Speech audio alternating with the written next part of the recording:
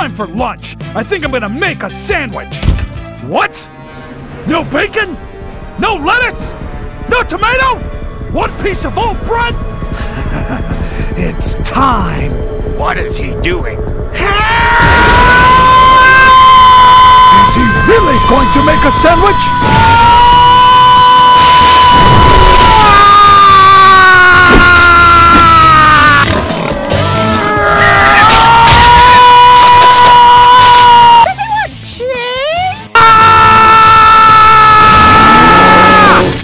Any mustard?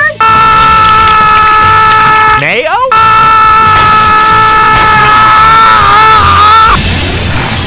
Now, this is what I call a super sandwich!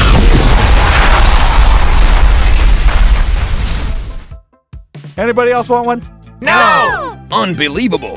Goku made a sandwich without needing groceries. Will he use this power forever? Or was it pretty much a one time thing?